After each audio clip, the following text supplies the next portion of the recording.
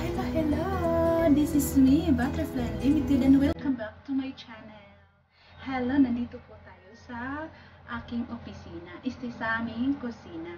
Kasi ngayon po guys, magluluto po tayo ng um, hmm. tadam! Broccoli. Sikreto ng broccoli para hindi siya ma-overcook. And then, lalagyan natin siya ng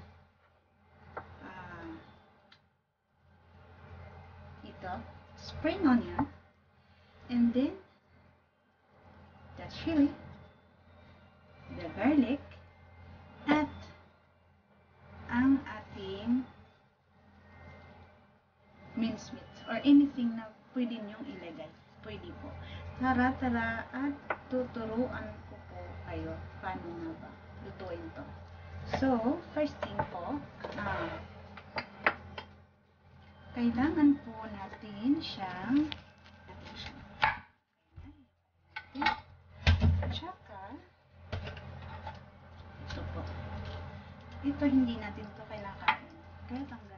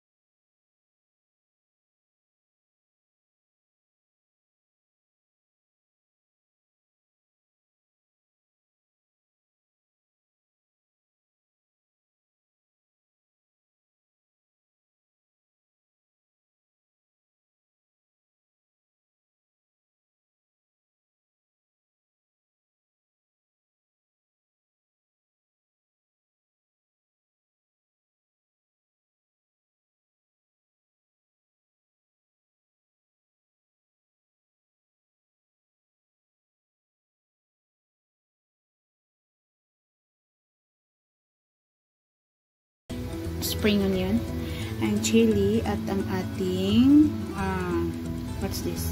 Garlic. So, dito na tayo guys sa pagsisimula natin. Ang una-una nating gagawin ay magpapakulo tayo ng water. At lagyan natin siya ng konting asin. Yan, asin. Para ba-blanch natin ang ating uh, pag kumulo na yan, i-blanch na natin ang ating broccoli. Yan, hintayin na natin siyang makulo.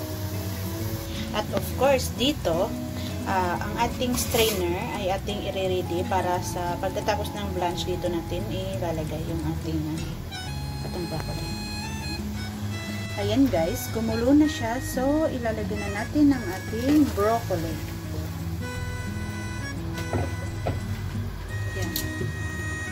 Ilagay natin siya. Iba-blanch natin siya ng mga 2 minutes. Or pag kumulo yan. Hintayin natin na kumulo bago natin tanggalin.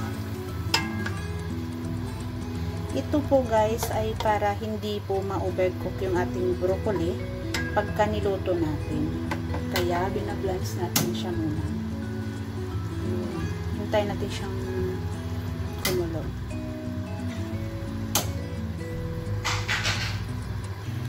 Kasi ang broccoli naman guys, actually, ay mabilis lang yan na maluto. Kaya kailangan lang natin siyang i-blanch ng kaunti. Yan.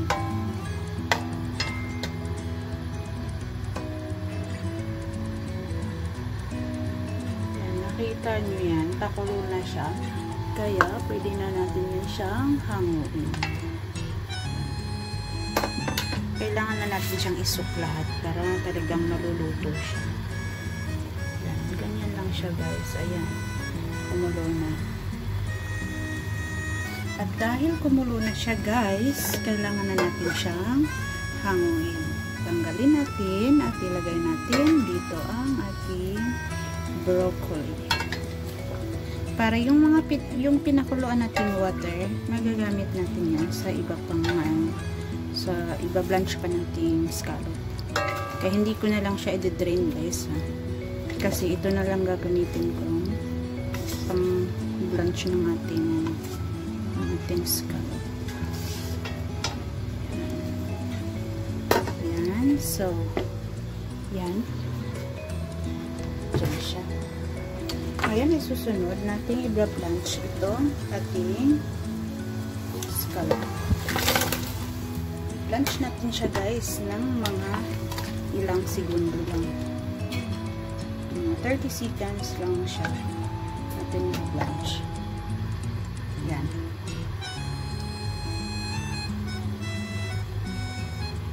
Buusin kasi. Hindi natin yan. Mga 30 seconds lang guys. So, bilangin natin. 1, 2, 3, 4, 5, 6, 7, 8, 9, 10, 11, 12, 13, 14, 15, 16, 17, 18, 19, 20, 21, 22, 23, 24, 25, 26, 27, 28, 29, 30. Kaya, ayan, hanguin na natin. Ilagay natin.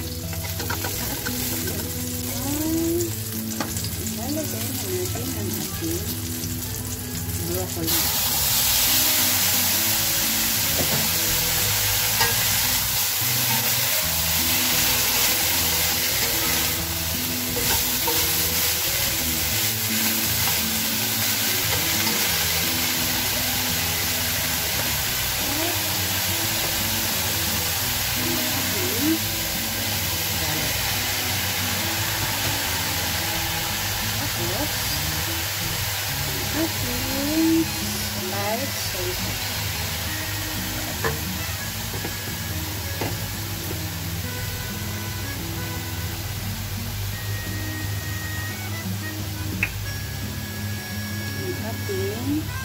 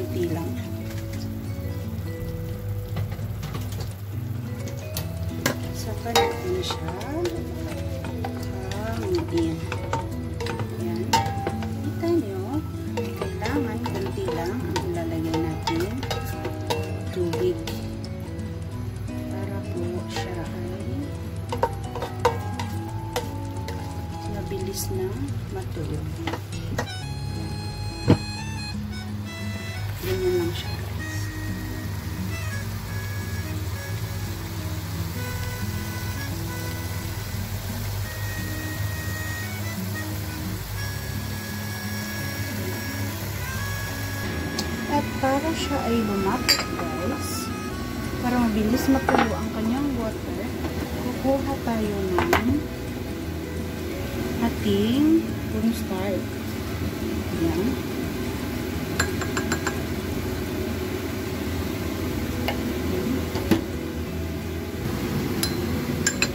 natin.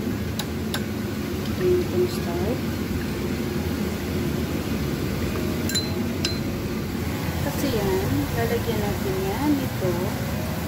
para siya ay matuyo. So, mabilis siyang matuyo guys, lalagyan natin ng bumsa. Ganun, ganun. Ganun lang guys, kasi Ayan. Napuyuin na natin ang ating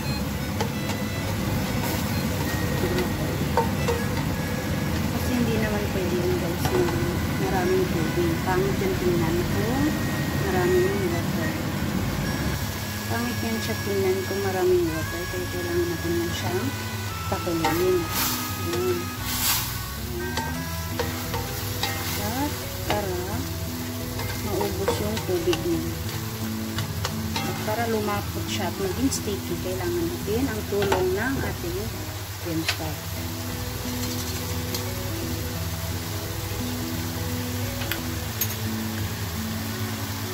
At charan! Nakikita niyo guys, yan po ay tuyo na. Yan, tuyo na siya. Kaya, ready na po tayong kumain. Yan na po ang ating niluto. Miga Miga Love shout to Im Sporting TV, my channel member Ging in Hong Kong, Roger, Korea Official, Loner Vlog, Mysterious Guy TV, and Ate Bing, Sexual Vlogs, Lalabs Pinky Vlogs, Malia Unbreakable, I am Chi, Becky Mondrell, Kabayan Eric TV, Manang Apple, Simply Wanderer, hello!